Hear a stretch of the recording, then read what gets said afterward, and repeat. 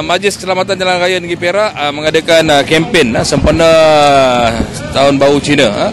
Ini merupakan kempen yang kita adakan secara konsisten daripada dulu sampai hari ini. Terutamanya di dua musim perayaan yang besar lah. Selain daripada sambutan Aidilfitri adalah Tahun Baru Cina.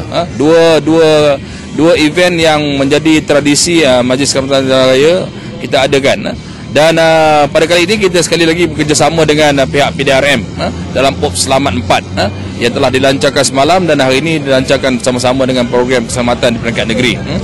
Uh, yang paling uh, menarik kita pada kali ini kita membuat sedikit kelainan. Uh. Kita buat demonstrasi daripada Jabatan Bomba uh, bagaimana mereka menyelamatkan uh, mangsa sewaktu kemalangan. Uh. Apa yang cuba kita tunjukkan kita adalah adalah untuk mengelakkan kemalangan. Uh uh, dan apakah kesan yang akan uh, diterima mereka yang terlibat dalam kemalangan uh? banyak pihak yang yang akan uh, memainkan peranan uh, apabila berlaku situasi uh, kemalangan dan sebagainya. Selain daripada pihak uh, PDRM ada jabatan-jabatan lain uh, khususnya jabatan bomba penyelamat. Begitu juga dengan NGO-NGO seperti Sekjen Ambulan Bulan Sabit Merah uh, uh, selain daripada pasukan uh, keselamatan uh, yang memainkan peranan apabila berlaku sesuatu uh, kemalangan dan sebagainya apa yang lebih penting dalam program kita adalah untuk kita nak memberi peringatan khususnya kepada pengguna jalan raya khususnya di musim cuti perayaan ni di mana keadaan uh, trafik akan meningkat berganda-ganda ha? tambahan pula tahun baru Cina jatuh hari Jumaat cuti Sabtu dan Ahad sudah tentu trafik yang akan lalu di lebuh raya dan juga jalan-jalan persekutuan yang lain akan meningkat dengan mendadak ha? Saya yakin banyak tempat-tempat yang akan uh, mungkin menghadapi uh, kesesakan laluan dan sebagainya.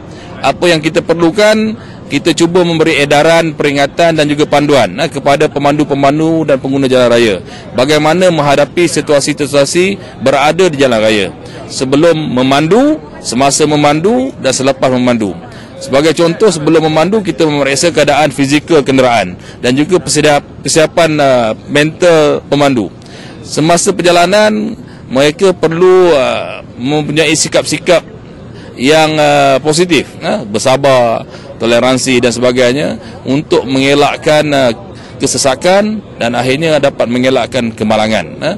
Uh, selain daripada pihak BDRM yang uh, meletakkan anggota dan sebagainya saya dipahamkan jabatan uh, pengangkutan jalan pun uh, telah menetapkan anggota di banyak tempat begitu juga Jabatan Bomba saya dipahamkan meletakkan anggotanya di empat lokasi utama di sepanjang lebuh raya ni sebagai tindakan awal sekiranya berlaku kemalangan dan sebagainya ada ada pasukan yang akan cepat sampai ya. saya ucap terima kasih lah kepada semua uh, jabatan yang terlibat uh, dalam kempen ini kan untuk uh, memastikan pengguna-pengguna jalan raya uh, merasakan uh, sekiranya berlaku sesuatu mereka ada pihak yang akan cepat sampai uh. Khususnya bomba dia akan letakkan uh, dekat uh, lebuh raya. Ada saya dipahamkan satu di Slave River uh, mana? Tapah, Tapah. Kemunting, Kemuntin dan Kuala Kangsar. Kuala Kangsar. Uh, bomba akan standby dekat-dekat de, uh, lokasi ini. Untuk mudah mereka masuk ke dalam lebuh raya lah